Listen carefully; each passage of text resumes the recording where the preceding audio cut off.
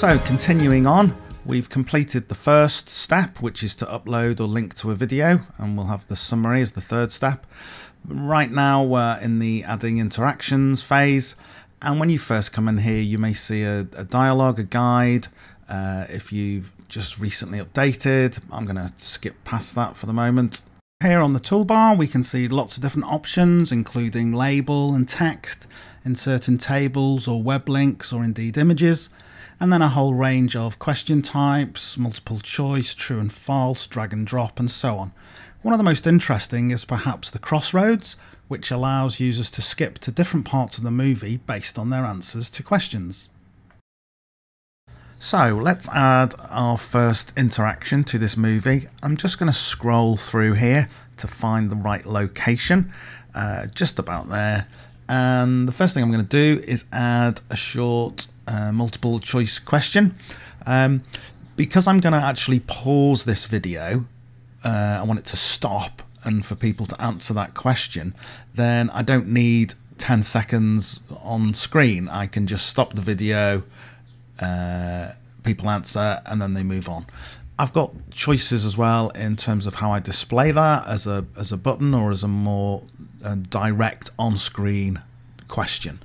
So I'm not going to go through in great detail the each content type here because that's something that you're going to look at in terms of your H5P certification anyway. Um, it's just important that you realize which types of interactions you can actually place within an interactive movie. It doesn't support every single H5P content type, but uh, all the ones across the menu that we mentioned earlier, they're obviously all supported. So I'm creating a quick question here about uh, the capital of New Zealand. So we're expecting learners to look through this movie. It's all about Auckland. It mentions that Auckland is the biggest city in terms of population and size. But of course, Auckland isn't actually the capital of New Zealand. It's Wellington. So we want to perhaps give learners a distractor. Um, we also want to think about how we uh, give them information like a tip or the feedback that they might get when they get questions right or wrong. And I'm going to add a third option. Um, again, a lot of people have heard about Christchurch, so that might be something that they would choose. Obviously, Wellington is the correct answer. So we set up our uh, interaction, our question type, in the same way as we would do otherwise, and just click on done to save that. So we can see that is added. Um, it's obscuring New Zealand at the moment, so I'm going to move that across and um, probably obscure Australia instead. I'm sure they won't mind. And just make sure that you drag that out, make it a, a size that's going to work okay.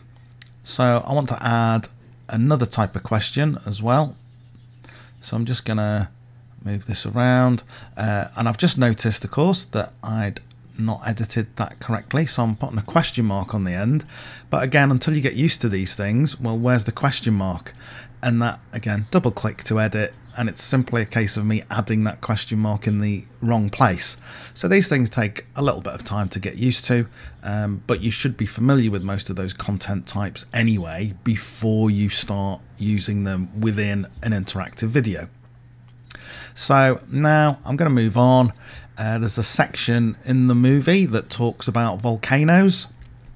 So again, just for a bit of variety here, I'm going to select a slightly different format for the question. I'm going to use a button.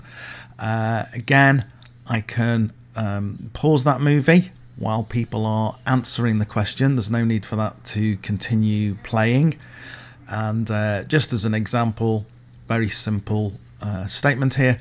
The movie actually talks about the number of volcanoes in Auckland. Um, luckily, all the volcanoes in Auckland are actually either extinct or dormant. Um, some of them are dormant, so in theory they could come back to life again. So while I continue building this particular question, uh, just a reminder in the panel on the left there, that there are a number of different types of questions that you can add within your H5P interactive video.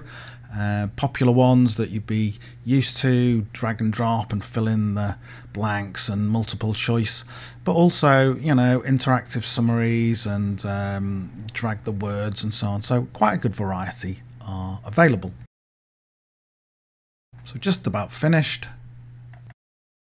So we could continue adding additional questions and statements and so on, but we're fairly happy with that. So I'm going to click on done and we'll see that that appears this time as a button, but uh, perhaps not the best location. So I might just want to move that somewhere more obvious